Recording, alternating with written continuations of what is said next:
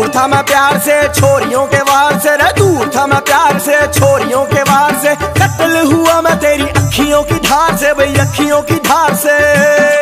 मेरे साथ में रहेगी तो हर सिचुएशन को फेस करूँगा। रे और सुन के। छोड़ेगी अगर तेरे घर पे मैं आके कलेश करूँगा।